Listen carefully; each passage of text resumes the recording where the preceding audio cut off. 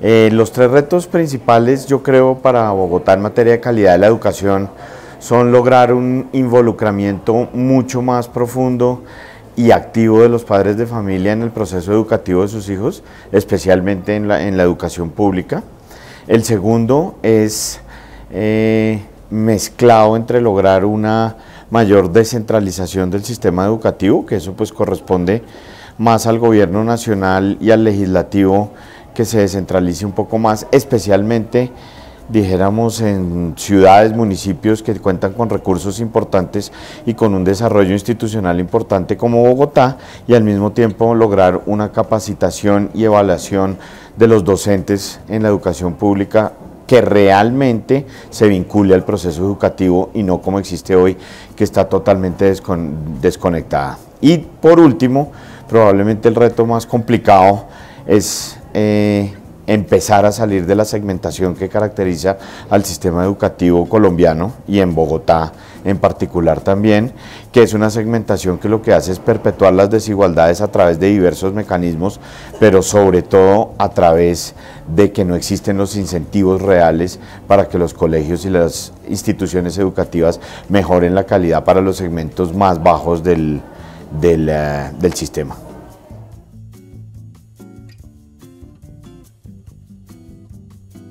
Creo que hay que tener una mezcla, para ponerlo en términos coloquiales, de, acciones a las malas y a las buenas. ¿sí?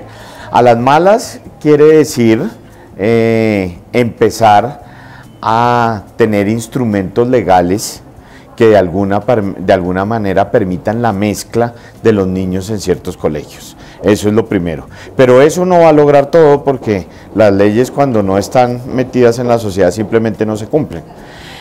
Lo más importante es empezar a encontrar mecanismos que permitan que hagan esa mezcla. ¿Cuáles son esos mecanismos?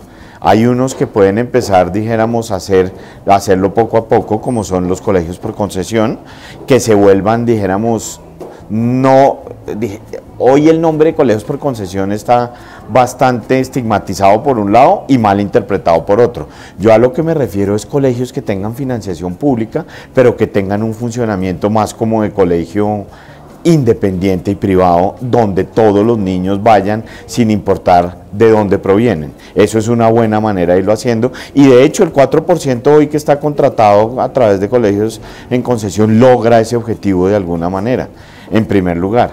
En segundo lugar, pues tiene que darse un proceso que le permita a los colegios públicos incrementar su calidad con base en incentivos no con base en reglas de que haga esto, de que haga lo otro, sino con base en incentivos y los incentivos para los colegios son la plata. ¿Sí? Entonces tiene que haber un mecanismo que le permita, por ejemplo, a los colegios públicos cobrar algún tipo de matrícula para los, dijéramos, estudiantes de mayores ingresos que dada la calidad del colegio, permita que esos estudiantes vengan y en efecto se empiece a mezclar. Con esas cosas, pero sobre todo con una discusión amplia, porque esto es un proceso que se toma 10, 15, 20 años, sobre todo con una discusión que tenemos que empezar a dar ya, yo estoy seguro que en un, en un periodo de 15 a 20 años vamos a lograr eso. Y tenemos que lograrlo, porque si no, la calidad no va a mejorar. O sea, por más eh, eh, capacitación de maestros que hagamos, por más lo que sea, si la segmentación continúa, el incentivo real para la mejora de la calidad no existe.